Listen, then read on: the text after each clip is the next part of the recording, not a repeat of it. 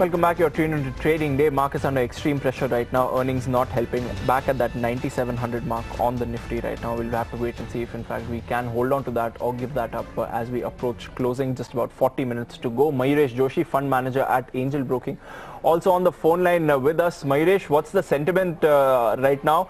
Uh, does it look like this pain is going to last for some more time, or do you feel that maybe the bulk of the selling may be done? What are you picking up from your clients?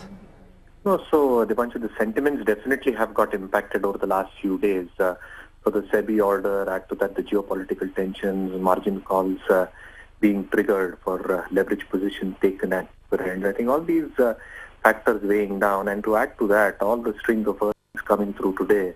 I think very disappointing set of numbers in terms of market expectations. Uh, and again, a big weekend around the corner, so nobody's really sure on how the next two days, three days, four days are going to pan out. So I think it's it's that amount of uh, sentimental selling that is probably weighing on the markets at this point of time. It can continue for uh, a very short period of time, but again, I think as uh, news flows start coming out, uh, and again, liquidity remains strong into the markets, I do not perceive a very strong correction into the markets. Um, bulk of uh, some of this pressure also uh, due to margin calls, uh, Mayuresh, and because it is Friday and because we're going into uh, some market holidays and bank holidays, uh, could that be just adding on to the pressure? And do you think that that will ease come next week? Oh, that's what I precisely said. So yes, I think this is one of the incremental reasons as well. I think the sentiments itself are very, very poor.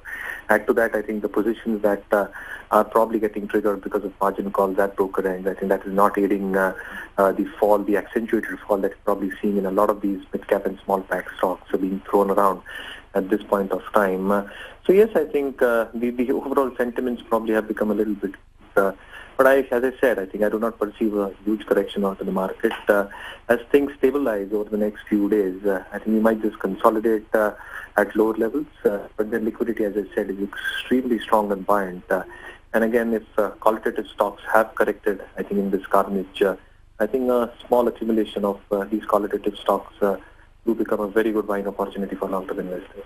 So still a buy on dips market, would you say? Yes, but again, you have to be selective uh, uh, in, in these markets. I think you just can't go down there and buy anything that you want. So qualitative stocks, uh, which have probably corrected out of the large cap, or qualitative mid caps, which have uh, corrected, uh, but the earnings outlook seems very, very plausible and uh, and strong over the next few quarters. I think yes, I think a small bit of accumulation. If the markets do correct further, I think that can be a good starting point for long-term investors. Would you say pharma would continue to remain weak or are we approaching some kind of a bottom right now? Or is the new reality still to be priced in?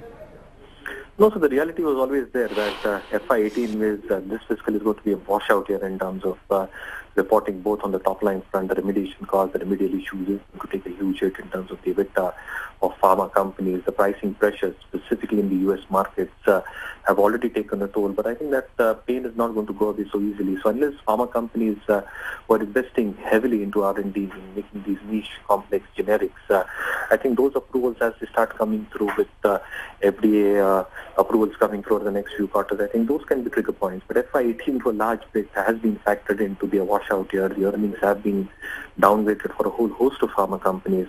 So I think you need to have, uh, as, as I've always been maintaining, that a two or a three-year perspective for pharma companies from uh, these levels or, or this time zones. Uh, because FY19 is where you'll see a slow recovery happening. FY20 probably is when you see over the next two years uh, that earnings pickup actually start happening because of all their R&D expenditure that they've done getting into the pipeline and probably then started generating, generating revenues. Uh, so the painful times might continue for at least a couple of quarters Right. for pharma companies.